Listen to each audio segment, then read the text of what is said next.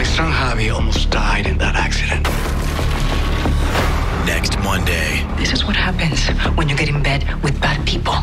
Things have gone too far, which is why I want to speak to you, boss. That's not how this works. We'll finally reveal who's the boss. But I had to speak with you. You have no idea what that woman is capable of. He's gonna regret coming here.